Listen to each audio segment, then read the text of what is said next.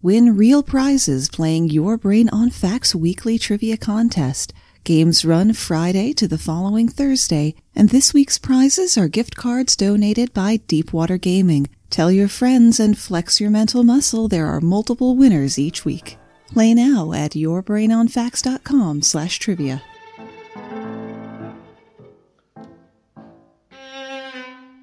A friend asks you out to a nice dinner. The evening's been swell, then the check comes. Your friend whistles an idle tune, stares blankly into the distance, does anything other than reach for the check. Finally, you give in and pay, just like last time. This is especially infuriating because your friend used to be the King of England. My name's Moxie, and this is your brain on facts. Saving money is of peaked importance these days, but even a good thing taken too far can be a bad thing. Have you seen the show Extreme Cheapskates? I can't say I endorse the idea of making a bed out of packing peanuts or sharing a single Q tip with my spouse just to save some money. But some of the most extreme cheapskates of all time didn't need to worry about regular saving, let alone eating exclusively from restaurant dumpsters by choice levels of savings. These serious skinflints, these marvelous misers, were all fabulously wealthy. John Elwes was born into prosperity in Britain in 1714, living on a large country estate with the equivalent of millions in the bank. Elwes' early life was one of creature comforts, the best schools, society functions, and vacations to the continent, but he managed to turn that all around. In fairness, he had help.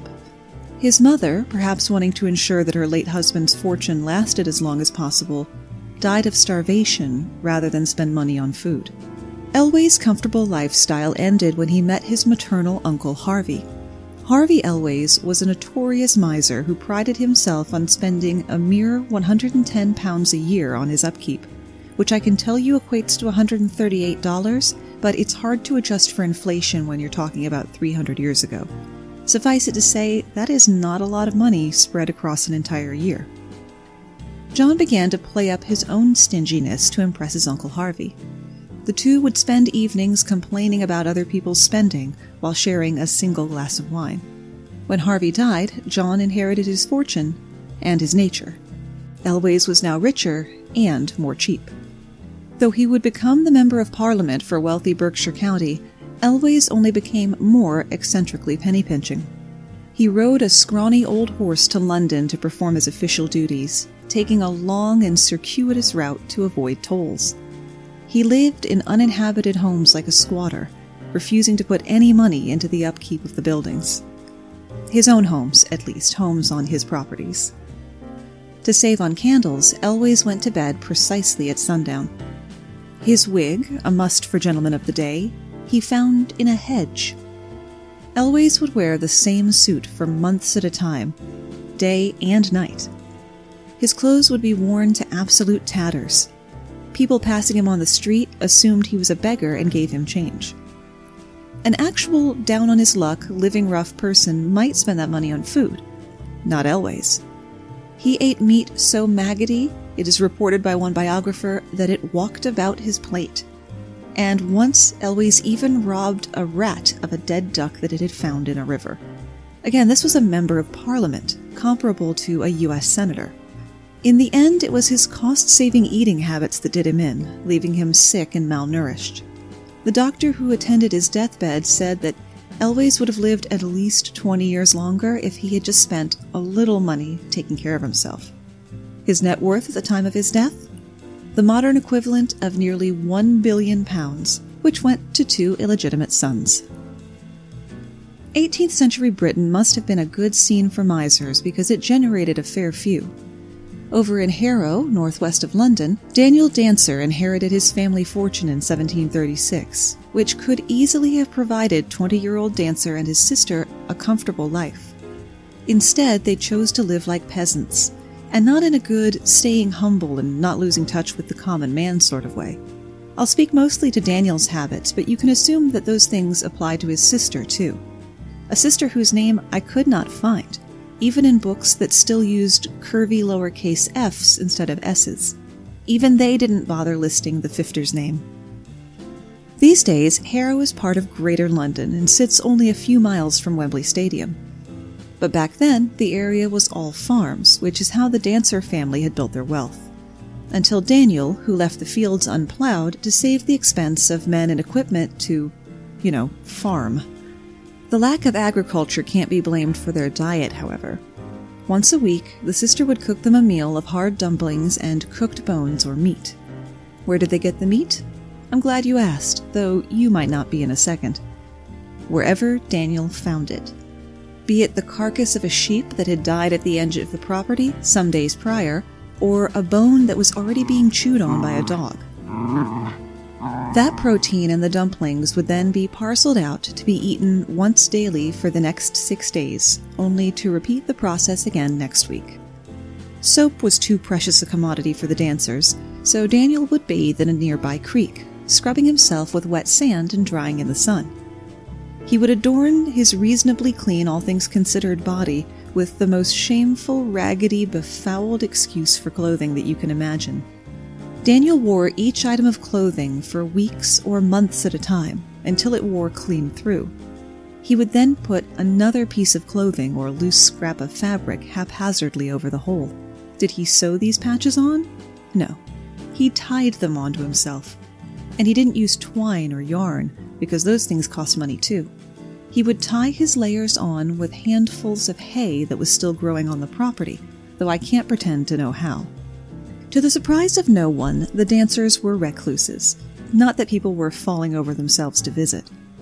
They really only had two visitors their neighbors, Lady Tempest and her brother, Captain Holmes. They brought food to the sister when she was gravely ill and tried to persuade Daniel to send for a doctor. Whether he thought his sister would get better on her own or he consciously valued the doctor's fee more than his sister's life, we can't say for sure, but the outcome was the same. She died, and Daniel, inheriting her portion of the family estate, was now even richer. The only creature Dancer showed any affection toward was his old dog, until a neighbor complained about the dog chasing his sheep. So, to avoid being taken to court or having to pay to replace expensive sheep, Dancer had a farrier remove the dog's teeth. On his once a year outing to buy a new shirt, the only clothing purchase he'd make, he tried to haggle the owner of a second hand shop down on the price of a shirt from three shillings to two shillings and sixpence. Here is exactly as much as I know about the old British money system. Pence is plural for penny, and there are 12 pence to the shilling. Thank you for coming to my TED Talk. Let's scale this up to make it a little bit easier to understand. If the shirt was priced at $3, he only wanted to pay $2.50. Dancer and the shop owner argued and settled in the middle on two shillings and ninepence. When Daniel paid the three shillings, the shop owner refused to give him any change. Furious at being cheated out of three pennies, Dancer took her to court, where, to his horror, she won, and Dancer was ordered to cover those expenses as well, which came to five shillings. One can't help but think that he probably felt that loss more keenly than the loss of his sister. Lady Tempest continued to visit Dancer and tried to sway him on the merits of spending money on food or hiring someone to keep up the house. She did manage to convince him to spend one shilling on a hat to replace the one that he'd worn for 14 years straight. But the next time Lady Tempest saw Dancer, he was back in his old hat, having sold the new one. Still, Dancer must have thought highly of Lady Tempest, because it was to her that he left his fortune when he died at the staggering age of 78. Maybe eating roadkill and not bathing is good for your immune system or something, I don't know. When Lady Tempest died the following year, everything went to her brother, Captain Holmes. When Holmes had the dancer house cleaned up, the servants found money hidden everywhere. Coins and banknotes were tucked into nooks and crannies and even hidden in the teapot. Dancer is held up as the real life inspiration for Ebenezer Scrooge, and I'd say you could make a good case. Decades later, and an ocean away, you might have caught a glimpse of an old woman with a grim face walking down a city street in faded, tattered dress, carrying her lunch of bread crusts in an old bag. Don't pity her. That's Hetty Green, the witch of Wall Street, and at that moment, she is literally the richest woman in the world. Henrietta Robinson was born into a wealthy Massachusetts Quaker family in 1834. Her mother's health was often poor, so Hetty's father and grandfather picked up the slack in her upbringing, teaching her to read stock reports when other children were being read fairy tales. By the time she was 13, Hetty had taken over the accounting for her family business.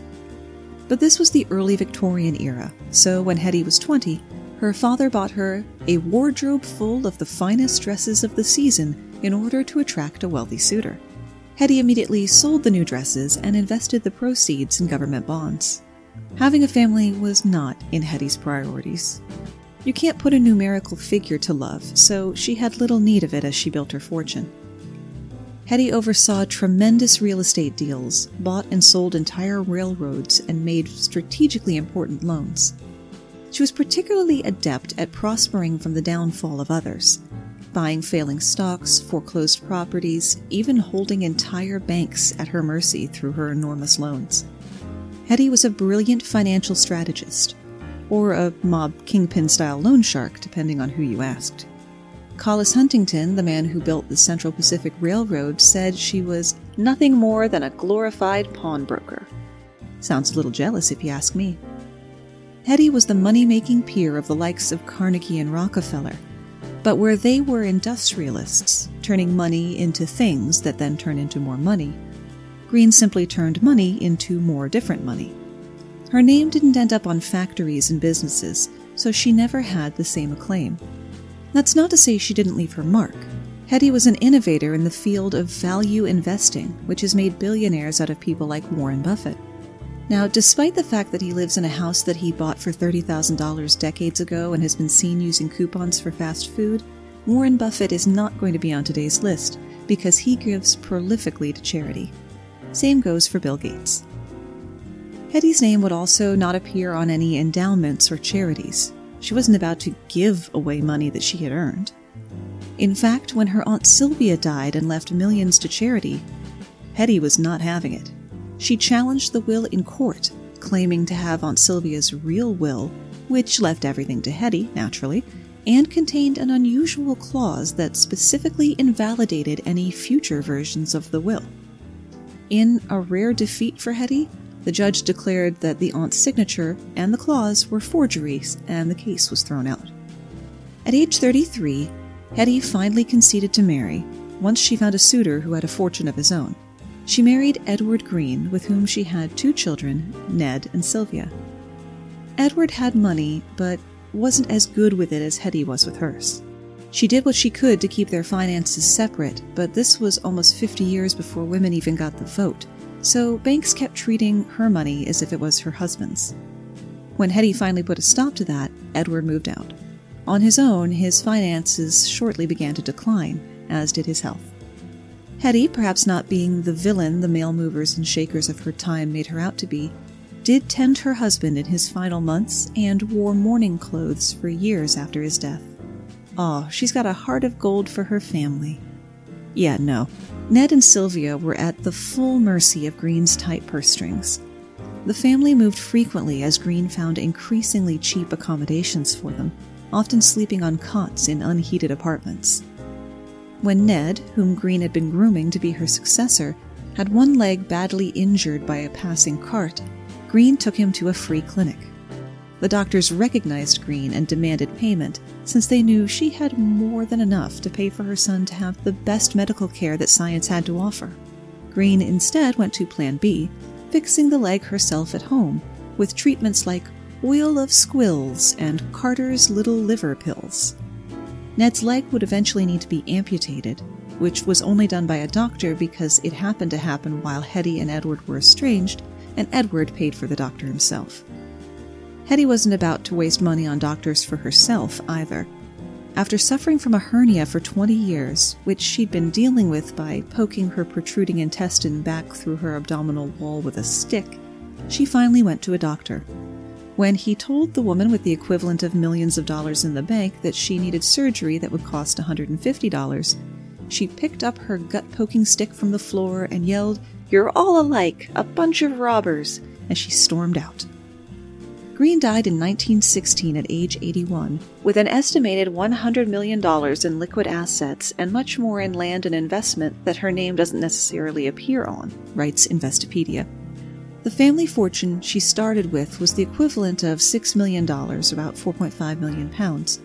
And through financial moves, both prudent and cutthroat, Green's wealth swelled to nearly $2 billion, or 1.6 billion pounds. That makes it all the more bizarre that she never rented an office for her business affairs. Heated leftovers on the radiator when visiting someone else's office near lunchtime, instructed her laundress only to wash the dirtiest parts of her dress to save on soap, and allegedly spent the better part of a night scouring her carriage for a two cent stamp that she had dropped. You know how they say the apple doesn't fall far from the tree? Well, Green's little apples rolled their way right out of the orchard. Ned went hog wild with his inheritance. He married his first lover, a prostitute his mother hated, and together they spent lavishly. They built mansions, bought a private island, maintained an entourage, even had an enormous yacht built, which never got used because Ned would get too seasick. Ned didn't spend himself into poverty, though. He invested in the newfangled radio technology that was being developed, and had enough of a fortune left at his death to leave to Sylvia. Sylvia defied her mother's spirit by leaving 99% of that fortune to charity, in modern dollars, about $440 million or 352 million pounds. We have so much to be grateful for in our lives, even now, and I am grateful for a recent review from, I'm going to pronounce this Arcatooth, sort of looks like a portmanteau of architect and sleuth, who says, I look forward to each episode. Moxie is great at providing unique information and keeping it interesting. She also seems to genuinely care about her listeners' thoughts, opinions, and perspectives, a fact that I greatly appreciate. I am very glad that you feel that way, Arcatooth, because that is what I have strive, strove or striven for. It's what I go for, at any rate. If you've never reviewed your brain on facts, Podchaser.com has extended their Reviews for Good charity drive, wherein, where for every review that's left, they donate 25 cents to Meals on Wheels and another 25 cents when the podcaster responds, which you know I'll do. Speaking of valuing my listeners' thoughts, the weekly Your Brain on Facts trivia contest, even though it's still fairly new, is already seeing diminishing participation. This is something I want to provide, obviously, to have fun, a nice little bit of distraction, and to win prizes, which, you know, definitely doesn't suck.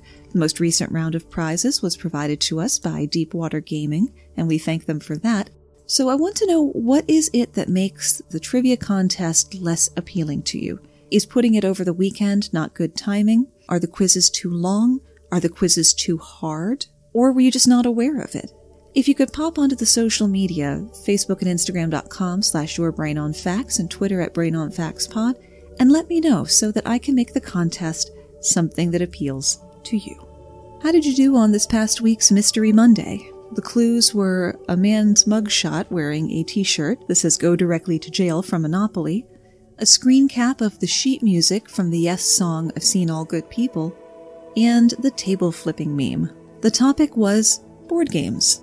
And congratulations again to Maria, who won right at the last moment. Be sure to look on the social media for the clues to Mystery Monday each week. There's nothing new under the sun, and parsimonious penny pinchers aren't just Dickensian caricatures. We've brought them with us into the modern world. To give you a stunning example, please welcome my special guest, Brian, from the podcast I Have So Many Questions. This is Brian Watson, host of the I Have So Many Questions podcast, and I want to tell you a story about one of the worst cheapskates ever and just an all around douchebag. His name was J. Paul Getty. Jean Paul Getty, born in 1892, was an American born British petro industrialist, founded the Getty Oil Company, and became a really, really rich guy as a result. In 1957, Fortune magazine named him the richest living American, while he set the Guinness Book of World Records in 1966 as the world's richest private citizen, worth an estimated $1.2 billion at the time, which is approximately $7.2 billion in 2018. At the time of his death in 1976, he was worth more than $6 billion, which is approximately $21 billion in 2018. Getty spoke multiple languages. He was fluent in French, German, and Italian, conversational in Spanish, Greek, Arabic, and Russian. or a love of the classics led Getty to acquire reading proficiency in ancient Greek and ancient Latin. Getty was a notorious cheapskate, though, and did not hold his family in any kind of regard, really. In 1959, Getty bought Sutton Place, a 72 room mansion purchased from George Sutherland Leveson Gower, 5th Duke of Sutherland, for £60,000, or about half of what the Duke paid for it 40 years earlier. Getty had a payphone installed in the mansion for guests and anybody who did not live in the household, which is basically anybody other than him, to use. Getty installed the payphone in the residence, in the mansion, because the people that were there, guests and so forth, and various other people, business acquaintances, were running up his phone bill. This would have been in the 50s and 60s when long distance was a thing and phone usage was a thing. So he had a payphone installed to cut down on his phone bill in his 72 room mansion. Getty once took a group of friends to a dog show in London. He made the friends walk around the block for 10 minutes until the tickets became half priced at 5 p.m. because he didn't want to pay the full 5 shillings per head to go see the dog show. Getty would reuse stationery. He had a habit of writing his responses to letters on the margins or on the backsides of the letters that were sent to them to him, mailing them back rather than using a new sheet of paper. He also carefully saved and reused manila envelopes, rubber bands, and other office supplies. But Getty is probably best known for how he handled in 1973 the kidnapping of his 16 year old grandson, John Paul Getty III. In Rome on July 10, 1973, a group of Italian mobsters kidnapped Getty's 16 year old grandson and demanded a $17 million ransom, which is the equivalent of $98 million in 2019. The family, however, suspected a ploy by the rebellious teenager, he was 16, to extract money from his miserly grandfather. John Paul Getty Jr., the boy's father, asked his father, the notorious penny pincher, for the money. But Getty refused, arguing that his 13 other grandchildren could also become kidnap victims if he paid. We jump to November 1973, a full four months after his grandson has been kidnapped. In November 1973, an envelope ca- containing a lock of hair and a human ear arrived at a daily newspaper in Italy. The second demand had been delayed three weeks due to an Italian postal strike. The demand threatened that, that uh, Getty III would be further mutilated unless the victims paid $3.2 million. The demand stated, quote, This is Paul's ear. If we don't get some money within 10 days, then the other ear will arrive. In other words, he will arrive in little bits. Unquote. When the kidnappers finally reduced their demands to $3 million, Getty agreed to pay no more than $2.2 million, which is the equivalent of $12.7 million in 2019. The reason Getty would only agree to pay no more than 2.2 million because that would be that was the maximum amount that he could claim as a tax deduction.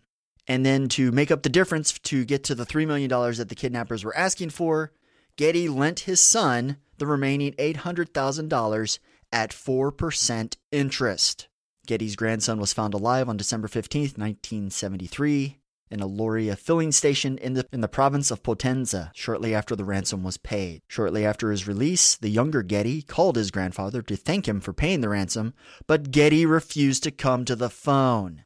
Things did not, however, improve for J. Paul Getty III. The grandson was permanently affected by the trauma of his kidnapping, which lasted for almost six months, and he became a drug addict. After a stroke brought on by a cocktail of drugs and alcohol in 1981, Getty III was rendered speechless, nearly blind, and partially paralyzed for the rest of his life. He would remain this way for another 30 years, dying in 2011 at the age of 54. The miser defended his initial refusal to pay the ransom on two points. He argued that his other 13 grandchildren could also become kidnap victims if he paid.